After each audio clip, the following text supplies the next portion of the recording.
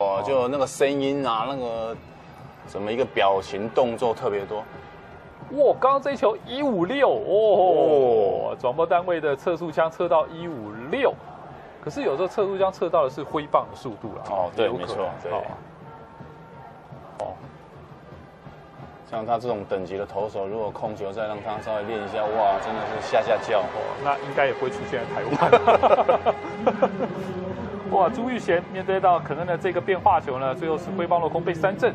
其实跟他直球一个速搭速差了是非常好啊。嗯。